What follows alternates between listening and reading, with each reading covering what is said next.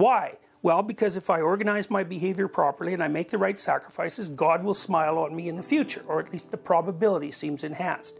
It's like, okay, well, we don't use the same terminology. Well, we use the same terminology. We don't burn rabbits, you know, but then again, we're not agriculturalists. So the people who were playing with the idea of sacrifice, like they were acting out the discovery of time. You can give up something now. Try to get a bone from a dog and tell him you're going to give him two bones. It's like he doesn't give a damn about that. Bone now. You know, and we regard the civilized person as the person who's capable of deferring gratification. Deferring gratification is a sacrifice. Does it please God? Well, everyone thinks so, or they wouldn't do it. So you burn the sacrifice. Why?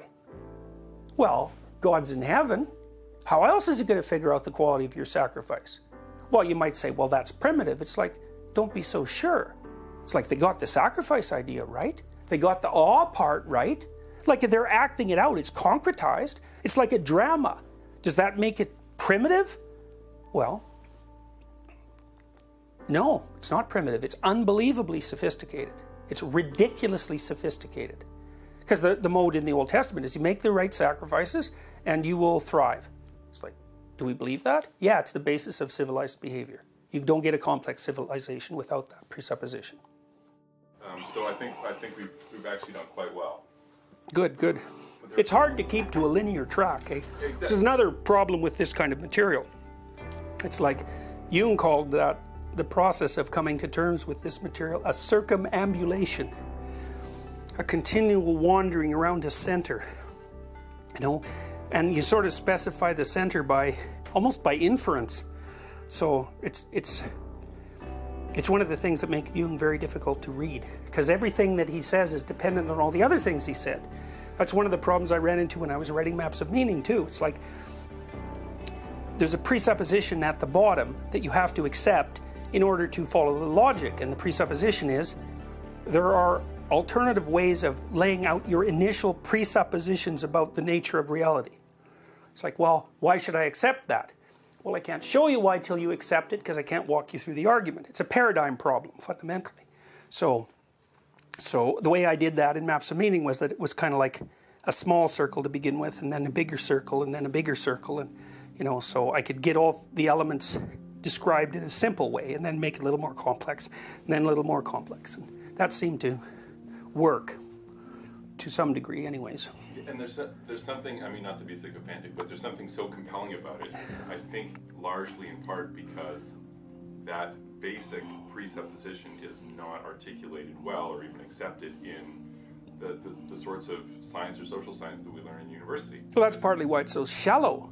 The social science in particular, it's like man, it's it's unbelievable. This like I, I, should be careful about that. I learned a lot from animal experimentalists, a lot, and from neuroscientists, but mostly the ones working on animals. They they learned things, and and part of that was a consequence of behaviorism, which was you know a very reductionistic um, method, useful. You know, so it's like it's not like I dismiss the capacity of science to produce useful information. It's like, but I'm also terrified of it you know, it's like there's no reason to be so optimistic about scientific truth. You know, the other thing that that I've noticed about the, the rationalists uh, or the empiricists, you know, they're sort of off in the same corner, is that they always make the assumption that if we transcend our historical religions, we'll no longer be religious, and what we will be is rational. It's like, I think, no, no, you're, you're completely out of your cotton picking mind if you think that. It's like, well, how do you account for the emergence of New Age philosophy? It's like, if you want incoherent, just take a wander through that desert. It's like you blow out these historically, this, these carefully constructed historical frameworks. What you get is like rampant and insane Protestantism. The idea that people will magically become like Newton because we've blown out the substructure of morality. Like, that's so that's so absurd that that's the sort of thought that I think is motivated. It's like there's a reason to believe that because who the hell would believe that? It's just you, you don't know anything about people if you believe that. People are. It's hard to think scientifically. It's really hard. Here's a way of thinking too. You could think you can reduce religion to to sort of Darwinian principles and sort of destroy it that way, you know, or you can expand your notion of Darwinism so that it actually encompasses the genuine phenomena of religion. Man, that is way more interesting. But the problem is, it's also the problem, the reason that people won't read Jung. First, he's very difficult. Second, he is terrifying. It's terrifying to read Jung. So, well, because, I mean, no one thinks like like he thought. Nobody thinks like that. I mean, he, his grasp of the development of ideas stretched over, like I said, 10,000 years. It, it, it, puts the Enlightenment thinkers to shame. But, but the, if you start grappling seriously with the idea that ideas have people instead of people having ideas, that forces you to reevaluate the entire nature of your being. Because the other thing he asked is, which ideas have you and where are they where, where are they suggesting that you go? And like that's like the Greek god idea, right? We're playthings of the gods. It's like, well, Dawkins already Dawkins already knows about memes. These are like meta memes. And so let's not be too incautious about who's in control here. So it's like, okay, well, you've developed a nihilistic philosophy that's predicated on rationalism. Fine. Why? Who's behind that precisely? You? It's like, yeah, right. No way. A thousand other people wouldn't think exactly the same way if it was you. You're just in its grip. And what's it up to? The, it's up for the betterment of humanity. Sure, maybe, but you know, I wouldn't bet my life on it. When Jung wrote about alchemy, which, you know, his writings on alchemy are incredibly opaque, but I, I can give you a bit of an insight into them you, you can understand Jung's writings on alchemy if you start from the presupposition that the matter that alchemists were studying wasn't matter, it was information.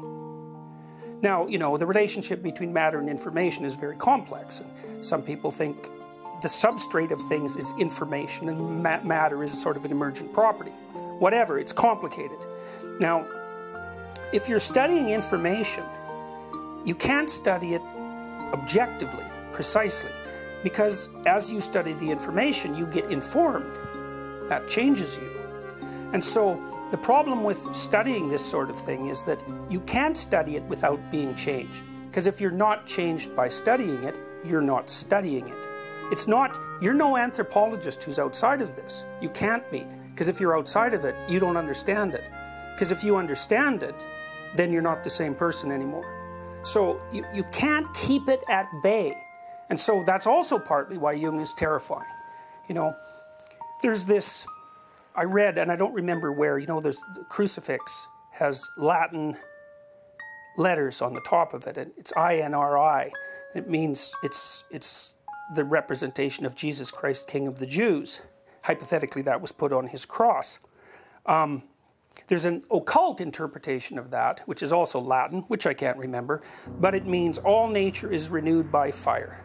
And so the, the crucifixion then is assimilated to the idea of a forest fire. Everything burns down before there's new growth. If you study religion properly, it will demolish your personality. Your personality, like the personality that's you, is like the dead branches on a, on a pine tree. It's like you might be clinging to them because you think, well, I'm all these dead branches. It's like, well, yeah, but first of all, you should let go of them and second, you should let them burn off. And then you might think, well, I don't want them to burn off because that's me. It's like, yeah, that's true. But it's, it's the false you that you're clinging to. Well, that doesn't mean you want to be burned up in the flames. So to study this material properly is to be burned up in the flames. And there's no escaping that. You're just not in it if, you're, if that doesn't happen. You don't get it. Like one of the things I realized when I started studying this was that virtually everything I said was a lie.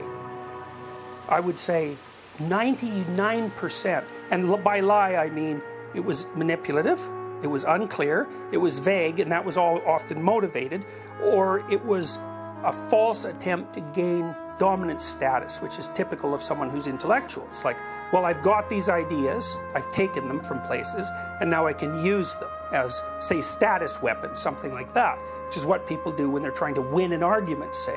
It's like that's all lies. It's like, well, that's rough when it's 99% of what you say. First of all, the first thing you realize is how much you aren't. You're not Nietzsche. You know, you're you have your experience as your claim to reality, and it's often pretty thin. But but the development of authentic speech is worth the price that you have to pay for it. So but you just can't stay detached from this. This isn't a phenomenon to study. It's like the basis of it's the basis of being. So, So- on that note, because that's that's that's uh, an expression of your experience, really delving in depth.